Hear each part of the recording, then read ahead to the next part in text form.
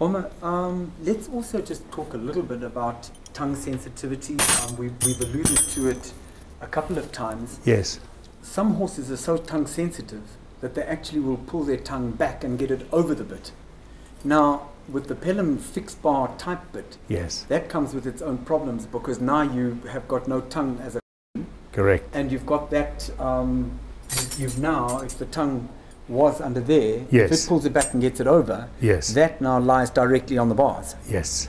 so Makes it very What- painful for the horse. you, you, you've come up with two different ways of Right. actually fixing that problem as Yes. i understand it you're talking about the ported gag so that Yes. it relieves the pressure so Correct. that they're not inclined to get the tongue over yes. is that correct Correct. But well, it's not frightening, frightening the, the tongue. Yes. But you get some horses that now haven't had the chance of being listened to by having the pressure relieved off the tongue.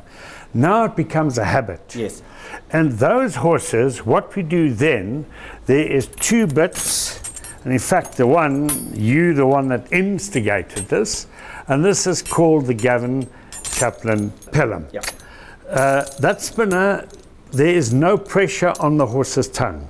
In racing, you find horses that have a tongue problem, they actually tie the tongue down. but this is a far kinder way much kinder. All this is, it, it acts like a gate. So you can imagine the, the palate is there.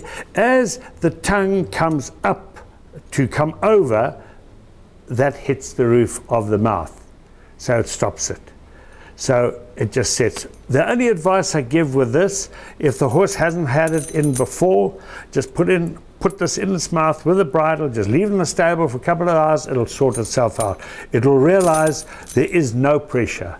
That'll stop it going over. But the bit is also ported both ways, this To, way uh, and, and that way. So there's so little tongue pressure. Correct. Just one thing that I have found using these bits, Bomber, some horses are so adamant about getting their tongue over Yes. that they will put their tongue over. So now people then go to a drop nose band, which has got the ring Yes. here, and that pinches here. Yes. Where if you use a flash nose band, there's no ring in the way. So Correct. far more Yes. beneficial to use Yes. the flash nose band Than- if you've got that problem Correct. than a, a drop nose Yes. band. Yes. I also have that in a gag. in both the three ring and the rope gag. and the rope gag. Yeah. So uh, rope gag, there it is there.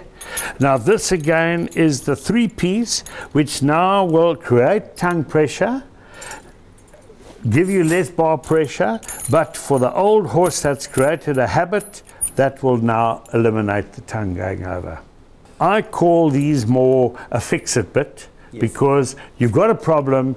It's an old problem. You've tried the others. It's still got the sting in its head. When a bit goes in its mouth, oh, I've got to pull my tongue away or get my tongue out or try and get it over. Okay. So that's when we resort to, to this. As I say, with sensitive tongue horses, I say 4 to 8% of all horses will have that problem. But uh, generally, those with a sensitive tongue, I found, are always the most natural athletes. They are phenomenally balanced. So please take time to ensure you get the right bit in the right horse's mouth.